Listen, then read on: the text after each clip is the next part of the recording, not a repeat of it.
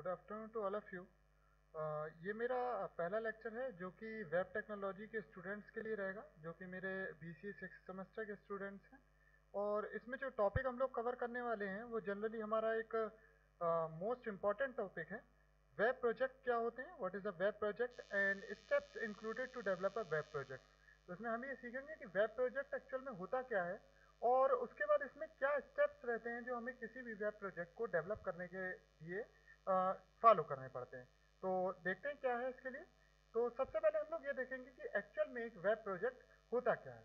तो यहाँ पे मैंने डेफिनेशन दे रखी है, देखिए। A web project is the process of developing and creating a website activities in a network which are aimed at a pre defined goal तो सबसे पहले चीज़ इसमें समझने वाली ये है कि वेब प्रोजेक्ट जो होते हैं, वो सबसे पहले हमारे वेबसाइट या वेब से रिलेटेड एक्टिविटीज़ के होते हैं। जनरली जब हम वेब की बात करते हैं तो हम बात करते हैं जो कि एक्सेसिबल हो सभी के लिए या पर्टिकुलर पर्सन के लिए। जैसे इंटरनेट और इंटरनेट दो चीज़ें हम लोग जानते हैं। Internet as all of you know internet होता है हमारा नेटवर्क ऑफ़ नेटवर्क जैसे आप इस समय मेरी वीडियो देख रहे हैं तो ये इंटरनेट के थ्रू देख रहे हैं। अगर किसी पर्टिकुलर यूनिवर्सिटी साइट वगैरह, वो अपना लोकल नेटवर्क जो क्रिएट करते हैं वो इंटरनेट कहलाता है। तो जब भी हम वेब प्रोजेक्ट की बात करते हैं तो सबसे पहले हमारे इंटरनेट या इंटरनेट से जुड़ी हुई होती है। उसके आगे इसमें देखिए है activities in a network which are aimed at pre defined goal तो जब भी हम कोई वेब प्रोजेक्ट लेते हैं तो हमारे लिए पहले से प्री डिफाइंड गोल होता है। जस्ट लाइक like, अगर हमें किसी स्कूल के लिए वेबसाइट डेवलप करके देनी है तो हमको पता होता है कि हमको उसमें क्या क्या मॉड्यूल्स रखने हैं। मॉड्यूल्स वो फीचर होते हैं जो हमको अलग अलग रखने होते हैं। जैसे अगर हमें किसी स्कूल की वेबसाइट बनानी है तो उसके लिए हमें क्या क्या रखना होगा?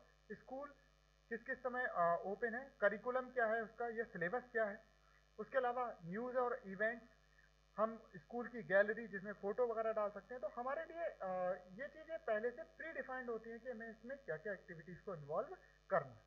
The network can be accessible for uh, for both uh, for everyone as in the internet or only for certain people as an internet. ये मैंने आपको पहले ही बता दिया कि जब हम इंटरनेट की बात करते हैं तो वो सभी के लिए एक्सेसिबल होता है। लेकिन जब हम इंटरनेट की बात करते हैं तो वो उन्हीं यूज़र्स के लिए एक्सेसिबल होता है जिन्हें उसकी परमिशन दी हुई होती है। The goals of web project is the transfer of static and dynamic content both directly to end user अब इसमें दो चीज़ें आती हैं। जब भी हम वेब प्रोजेक्ट डेवलप करते हैं वो या स्टैटिक होगा या डायनेमिक होगा। अब आप इसमें ये मुझसे पूछेंगे कि स्टैटिक वेब प्रोजेक्ट क्या होता है और डायनेमिक वेब प्रोजेक्ट क्या होता है? स्टैटिक वेब प्रोजेक्ट वो प्रोजेक्ट होते हैं जो कि स्टैटिक होते हैं। मैंने आपको पहले बताया है एस एस और जावा स्क्रिप्ट तीन चीज़ें यहाँ पे हमारी यूज़ होती हैं। जो हम लोग एस एस और जावा स्क्रिप्ट के थ्रू चीज़ें बनाते हैं, वो हमारा फ्रंट एंड कहलाता है और जो हम डेटाबेस जो कि हम पहले सब्जेक्ट पढ़ चुके हैं सेकेंड ईयर में डीबीएमएस डेटाबेस मैनेजमेंट सिस्टम वो हमारे डेटाबेस के हैंडलिंग के लिए होता है। तो वो साइट जो कि सिंपली फ्रंट एंड में बनी हुई होती हैं स्टैटिक साइट कहलाती हैं, इसमें हम डायरेक्टली कोई हमारे पास डैशबोर्ड वगैरह नहीं होता, जिसके थ्रू हम इसमें कोई चेंज कर सके। लेकिन जो डायनेमिक वेबसाइट होती है, उसमें हमको एक प्रॉपर डैशबोर्ड दिया जाता है, जिसके थ्रू हम अपनी साइट में चेंज कर सकते हैं। जैसे कि हम लोग अगर फेसबुक का पेज भी अपना लें तो अगर हम उसमें अपने डैशबोर्ड के थ्रू कोई पिक्चर डालते हैं तो हमसे जितने भी जुड़े हुए लोग हैं, वो उन्हें पिक्चर दिखाई देना शुरू हो जाती है। लेकिन स्टैटिक साइट में इस तरीके का कोई फीचर नहीं होता है। अगर हमें कोई भी चीज़ इसमें करनी है तो उसके लिए हमें उसकी कोडिंग में चेंज करना पड़ता है। अब हम अगले पॉइंट पे चलते हैं। Field in which web project develop generally अब वेब प्रोजेक्ट वैसे तो बहुत सी फ़ील्ड है जिनमें वेब प्रोजेक्ट को हम लोग डेवलप कर सकते हैं। लेकिन जनरली स्कूल्स के लिए यूनिवर्सिटी के लिए इंडस्ट्रीज़ वगैरह के लिए जो हम लोग प्रोजेक्ट डेवलप करते हैं, वो उसके अंदर कंसीडर हो सकते हैं। अब वो सॉफ्टवेयर की फॉर्म में भी हो सकते हैं और हमारी स्टैटिक वेबसाइट के सेंस में भी हो सकते हैं या फिर हमारी डायनेमिक वेबसाइट के सेंस में भी हो सकते हैं। आप रेलवे और एयरलाइंस का जो रिजर्वेशन सिस्टम भी यूज़ करते हैं, वो भी हमारा एक वेब प्रोजेक्ट होता है जो कि सबके लिए एक्सेसिबल होता है थ्रू इंटरनेट बट हमें जो परमिशन होती है वो बहुत ही लिमिटेड होती है। जैसे हम लोग अपने रेलवे के आईआरसीटीसी का लॉगिन करते हैं तो हमें पर्टिकुलर रिजर्वेशन और ट्रेन की टाइमिंग के लिए ही फीचर दिया गया होता है कि हम अपना रिजर्वेशन कर सकते हैं टिकट बुकिंग कर सकते हैं, और उसके अलावा हम अपना जो ट्रेनों का शेड्यूल है, वो सारा हम देख सकते हैं। यही हमारा एयरलाइन का फीचर होता है। बट अगर हम पर्टिकुलर उस बंदे की बात करें जो कि एडमिन होता है, उसके पास सारे फीचर होते हैं। तो ये हमारे पर्टिकुलर वेब प्रोजेक्ट के अंदर होने वाली एक्टिविटीज़ हैं। हमने यहाँ पे ये देखा कि वेब प्रोजेक्ट एक्चुअल में होता क्या है। ये इंटरनेट और इंटरनेट दोनों पे एक्सेसिबल होता है। स्टैटिक और डायनेमिक साइट क्या होती हैं। उसके अलावा कुछ फ़ील्ड देखी जो कि हम लोग के वेब प्रोजेक्ट के बनाने के लिए सबसे क्रूशल फ़ील्ड होती है। हम जो अगला स्टेप लेंगे, वो है steps in developing a web project इसमें हम ये देखेंगे वन बाय वन कि आ, हमारा जो स्टेप्स हैं वो वेब प्रोजेक्ट को डेवलप करने के लिए क्या क्या होते हैं? तो तो यहाँ स्टेप्स को समझते हैं जो हम लोग यहाँ पे आ, लेते हैं जनरली कब लेते हैं? जब हम किसी वेब प्रोजेक्ट को डेवलप कर रहे होते हैं। तो इसमें पहला स्टेप जो होता है वो होता है हमारा देखिए क्लाइंट ब्रीफिंग का। कौन सा स्टेप होता है हमारा? क्लाइंट ब्रीफिंग का। जहाँ पे देखिए मैंने मार्क किया है क्लाइंट ब्रीफिंग तो आप इसमें क्लाइंट ब्रीफिंग में क्या करेंगे? सबसे पहले देखिए, हम लोगों को एक चीज़ समझनी होती है सॉफ्टवेयर या वेब डेवलपमेंट हम लोग करते हैं। हम लोगों को अपने बिहार पे नहीं बनाना होता है, हम लोगों को क्लाइंट के बिहार पे बनाना होता है। देखिए, दो चीज़ें हमारी लाइफ में होती हैं, या तो प्रोडक्ट या सर्विस अगर हम किसी को कोई प्रोडक्ट डिलीवर कर रहे हैं जस्ट लाइक आप कहीं किसी भी शॉप से अपने लिए मोबाइल परचेज करके लाते हैं तो वो प्रोडक्ट है। तो प्रोडक्ट जो भी खरीदता है, वो कस्टमर कहलाता है।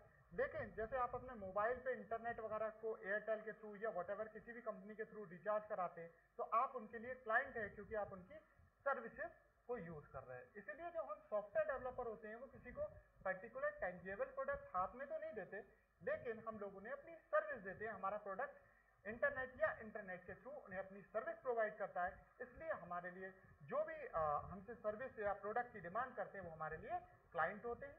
अब क्लाइंट ब्रीफिंग क्लाइंट मतलब होता है, जब हम क्लाइंट से उसकी रिक्वायरमेंट लेते हैं कि वो एक्चुअल में क्या डिमांड कर रहा है, वो एक्चुअल में क्या चाहता है। जैसे हमें यहाँ पे मैं स्कूल की साइट का एग्ज़ाम्पल लेता हूँ। अगर हम एक स्कूल की साइट बनाना चाहते हैं तो हम उसके प्रिंसिपल या मैनेजर जो भी होंगे, उसकी कंसर्न अथॉरिटी उनके पास जाते हैं और उनसे बात करते हैं कि उनको इसमें क्या क्या फीचर चाहिए। तो वो हमारा क्लाइंट ब्रीफिंग का स्टेप होगा, जिसमें हम वो सारी चीज़ें नोट डाउन करेंगे, जिसमें हमें ये पता लगेगा कि हमारे क्लाइंट को क्या चाहिए। उसके बाद हम लोग नेक्स्ट स्टेप पे मूव ऑन करते हैं, जो कि हमारा है इंफॉर्मेशन एनालिसिस का। आप लोग थोड़ा सा ध्यान से देखिए, ये नेक्स्ट स्टेप है इंफॉर्मेशन एनालिसिस का। यहाँ पे हम लोग क्या करते हैं? इंफॉर्मेशन की एनालिसिस करते हैं। अब आप ये पूछेंगे, कौन सी इंफॉर्मेशन देखिए, पहला वाला स्टेप था क्लाइंट ब्रीफिंग इसमें हमें जो भी इंफॉर्मेशन मिलती है क्लाइंट से हम उसकी एनालिसिस करते हैं। कि हम इसमें क्या पॉसिबिलिटीज को कर सकते हैं और किन पॉसिबिलिटीज को हमें इलेमिनेट करना होगा। क्योंकि कुछ चीज़ें ऐसी होती हैं जिनको हम आ, कर सकते हैं और कुछ चीज़ें ऐसी होती हैं जिसमें हमें अमेंडमेंट करना होता है और क्लाइंट को ये बताना होता है कि दूसरा स्टेप हमें इसके लिए या दूसरा वे लेना होगा। तो ये हमारा इंफॉर्मेशन एनालिसिस का आ, एक स्टेप होता है during the web project development उसके बाद हमारा थर्ड स्टेप आता है वो होता है स्टेटमेंट ऑफ़ वर्क देखिए यहाँ पे लिखा हुआ है स्टेटमेंट ऑफ़ वर्क अब यहाँ पे आप ये कहेंगे कि स्टेटमेंट ऑफ़ वर्क क्या चीज़ है? देखिए, पहला स्टेप हम लोगों को मालूम है क्या था? क्लाइंट बेसिंग उसमें हमने क्या किया? क्लाइंट से पूरी उसकी रिक्वायरमेंट ले ली. इंफॉर्मेशन एनालिसिस कौन कर रहा है? हम लोग, जो कि कंपनी है वेबसाइट डेवलपमेंट की या वेब डेवलपमेंट की, वो एनालिसिस कर रही है और वो क्लाइंट को बता रही है कि क्या चीज़ें पॉसिबल हैं और किस तरीके से पॉसिबल है। जब हम क्लाइंट को अपनी चीज़ें समझा चुके होते हैं तो उसके बाद after the discussion with client हम लोग स्टेटमेंट ऑफ़ वर्क बनाते हैं, जिसमें वो सारे स्टेप्स होते हैं, जो कि हमें वेब डेवलपमेंट के उस पर्टिकुलर प्रोजेक्ट को पूरा करने के लिए यूज़ करने हैं। ठीक है? तो स्टेटमेंट ऑफ़ वर्क में आप पर्टिकुलर वो सारे स्टेप नोट डाउन कर लेते हैं, जिसको हमको करना है। इसको फ्लो चार्ट के सेंस में भी अगर हम लोग करते हैं। जैसे हम लोग एल्गोरिथम में फ्लो चार्ट करते थे तो उस सेंस में भी हमारे लिए काफ़ी इजी हो सकता है। तो इसे कंपनी टू कंपनी ये वेरी करता है कि स्टेटमेंट ऑफ़ वर्क कैसे बनाया जाएगा। तो हम लोग हमारा नेक्स्ट स्टेप है, वो है यूएक्स एंड यूआई डिज़ाइन तो यूएक्स आप लोग याद रखें थोड़ा सा। यूएक्स का मीन्स होता है हमारा यूज़र एक्सपीरियंस और यूआई का मतलब होता है इंटरफेस देखिए यूएक्स का अगर हम बात करें तो यूएक्स हमारी क्या चीज़ होती है? यूज़र एक्सपीरियंस अगर हम लोग कहीं पे भी यूएक्स को यूज़ करते हैं तो ये हमारे यूएक्स जो रिप्रेजेंट करेगा, वो यूज़र एक्सपीरियंस को करेगा। अगर हम लोग यूआई कहीं पे लिखते हैं तो ये हमारे यूज़र इंटरफेस को रिप्रेजेंट करेगा। ठीक है? UX for user experience and UI for आपका यूज़र इंटरफेस होगा। ठीक है? तो यूएक्स और यूआई डिज़ाइन पे हम लोग फिर से आते हैं। और देखते हैं कि ये आखिर में यूएक्स और यूआई डिज़ाइन होता है। देखिए, जब हम क्लाइंट से क्लाइंट के अनुसार कोई भी प्रोजेक्ट बना रहे हैं तो हमें उसके एक्सपीरियंस या उसके अनुसार अपने यूज़र इंटरफेस को डिज़ाइन करना होता है। अब आप ये पूछेंगे कि यूज़र इंटरफेस क्या होता है? किसी भी साइट पर जब हम लोग जाते हैं, चाहे वो फेसबुक हो ट्विटर हो, या फिर आप अपने कॉलेज की, जैसे उत्कर्ष कॉलेज या किसी भी कॉलेज की साइट पर जाते हैं तो जो आपको दिखाई देता है, सामने से दिखाई देता है, मैंने आप लोगों को पहले भी लेक्चर में बताया है कि H T M L C S S और जावा स्क्रिप्ट के थ्रू जो फ्रंट एंड डेवलप होता है, उसमें आपको जो दिखाई देता है, वो आपका यूज़र इंटरफेस होता है। इसे यूएक्स जो दूसरी चीज़ होती है, वो यूज़र एक्सपीरियंस होता है। उसे हम यूज़र एक्सपीरियंस इसलिए कहते हैं क्योंकि हमें अकॉर्डिंग टू यूज़र उसको डेवलप करना होता है। तो नेक्स्ट स्टेप में हम लोग इसी को कंसीडर करने वाले हैं। देखिए नेक्स्ट स्टेप आपका क्या है? जो आप लोगों को मैं कई बार बता चुका हूँ क्लास में हम लोगों ने डिस्कस किया है फ्रंट एंड डेवलपमेंट क्या चीज़ है? फ्रंट एंड डेवलपमेंट अब आप बात करेंगे कि फ्रंट एंड डेवलपमेंट किस चीज़ में हो सकता है? तो फ्रंट एंड डेवलपमेंट हम लोग, हम लोगों को सबको पता है कि फ्रंट एंड डेवलपमेंट की बात होगी तो हमारी क्या चीज़ स्टार्ट हो जाएगी? बताइए आप लोग, सभी को पता होगा।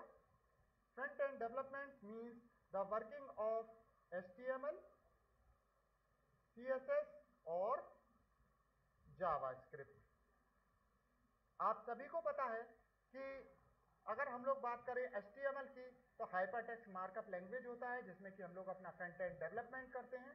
सी एस एस हमारा कास्केडिंग स्टाइल शीट को रिप्रेजेंट करता है, जो कि हमारी कंप्लीट वेब पेज की स्टाइलिंग के लिए होता है, और जावा स्क्रिप्ट आपको मैंने बताया वैलिडेशन के लिए होता है। जैसे हम लोग कोई भी फॉर्म भरते हैं, मान लीजिए, और हमको मोबाइल नंबर भरना है, और वो हमें कितने डिजिट्स का रखना है? टेन डिजिट्स का रखना है जैसे इंडिया में। तो टेन डिजिट्स का अगर आप मोबाइल नंबर नहीं रखते हैं तो वो आपको एक मैसेज देता है कि please enter the correct mobile number ये काम हम लोग जनरली जावा स्क्रिप्ट के थ्रू करते हैं। तो ये हमारा फ्रंट एंड डेवलपमेंट का स्टेप हो गया। अब हम लोग नेक्स्ट स्टेप पे चलते हैं। देखिए क्या लिखा हुआ है। बैक एंड डेवलपमेंट देखिए, किसी भी स्टैटिक साइट के लिए बैक एंड डेवलपमेंट इतना ज़रूरी नहीं होता क्योंकि हम लोग बैक एंड को जनरली स्टैटिक साइट में यूज़ नहीं करते हैं। आप लोगों को पता है कि स्टैटिक साइट में सिर्फ़ हमारे फ्रंट एंड के दिखने वाले पेज ही डेवलप करे जाते हैं। अगर हमें कोई भी चेंज करना है तो हमें इसकी सीधे कोडिंग में जाके चेंज करना होता है। डैशबोर्ड हमारे लिए नहीं प्रोवाइड करा जाता किसी तरीके का, जिसके थ्रू हम लोग चेंज कर सकें। लेकिन जब हम डायनेमिक साइट की बात करते हैं, जैसे आप लोग अपने रोयलखंड यूनिवर्सिटी के फॉर्म भरते हैं या फिर किसी और चीज़ का फॉर्म भरते हैं तो उसके पीछे डेटाबेस जुड़ा हुआ होता है। वो हमारे बैक एंड डेवलपमेंट का वर्क होता है, जिसमें हमें प्रॉपर सारी चीज़ों को एनालाइज करके रखना होता है टेबुलर फॉर्म में। जैसे टेबुलर फॉर्म क्या होती है? मान लीजिए हम एक स्टूडेंट को लेते हैं, जिसका हमें एंट्री करानी है तो स्टूडेंट का रोल नंबर स्टूडेंट का नेम स्टूडेंट के फादर नेम स्टूडेंट की क्लास ये सारी चीज़ें हमें टेबुलर फॉर्म में अपने डेटाबेस में स्टोर करके रखनी होती है। तो इसमें जनरली डेटाबेस डेटाबेस के फ़ील्ड में हम लोग कौन कौन से सॉफ्टवेयर यूज़ करते हैं? मैंने पहले भी आप लोगों को बता चुका हूँ कि वेब बैकएंड में कौन कौन से सॉफ्टवेयर यूज़ करते हैं। जैसे आप लोगों को पता होगा माई माई यूज़ होता है। उसके अलावा ऑरिकल के सॉफ्टवेयर यूज़ होते हैं बैकेंड के लिए। और भी बहुत सारी कंपनियाँ हैं। जो सॉफ्टवेयर यूज़ करती हैं, हमारे प्रोवाइडर होते हैं, जो कि बैकएंड के लिए यूज़ करे जाते हैं। तो ये हमारा मेनली था बैकएंड डेवलपमेंट जिसमें हम क्या करेंगे, अपने डेटाबेस की डिज़ाइनिंग करेंगे, जिसमें हमें सारा डेटा सेव करके रखना होगा। अब देखिए, अगला फ़ेज़ जो होने वाला है, वो काफ़ी इंपॉर्टेंट फ़ेज़ होने वाला है, क्योंकि जनरली जो होता है, वो हमारा वर्क इस फ़ेज़ पे बहुत ज़्यादा डिपेंड करता है। कि हमारा जो भी वर्क हमने अब तक किया है, वो सही है या नहीं है? टेस्टिंग देखिए टेस्टिंग दो सेंस में होती है। दो सेंस में आप कहेंगे कौन कौन से सेंस में टेस्टिंग होती है? पहला सेंस होता है जब डिज़ाइनर या डेवलपर अपने एंड पे टेस्टिंग करता है। जैसे मैंने अगर कोई प्रोजेक्ट डेवलप किया तो वो as per the customer need चल रहा है या नहीं चल रहा है, मैं अपने एंड पे चेक करूँगा। ठीक है? उसके बाद हम लोग क्या करते हैं? उस प्रोडक्ट का, या सॉरी हमारे वेब प्रोजेक्ट का एक सैंपल जो होता है, वो अपने पर्टिकुलर क्लाइंट को देते हैं। कुछ समय तक वो अपने पर्टिकुलर एक सैंपल ऑफ़ पर्सन के साथ उसको यूज़ करता है और बताता है कि हमारे प्रोजेक्ट में क्या क्या अमेंडमेंट या कौन कौन से मॉडिफिकेशन रिक्वायर्ड हैं और उसको हम लोग करते हैं। तो टेस्टिंग का फेस ऐसा नहीं है, एक बार में कंप्लीट हो जाता है, ये कई बार आपका रिपीट कर सकता है। ये डिपेंड करता है कि आपका जो कस्टमर है, वो कितनी जल्दी सेटिस्फाई हो जाता है और वो उसकी रिक्वायरमेंट को कितनी जल्दी फुलफिल कर पाता है। उसके बाद हमारा लास्ट फेस आता है जो आप लोगों को क्लियर हो जाना चाहिए, देखते ही प्रोजेक्ट डिलीवरी का। क्या चीज़? प्रोजेक्ट डिलीवरी का।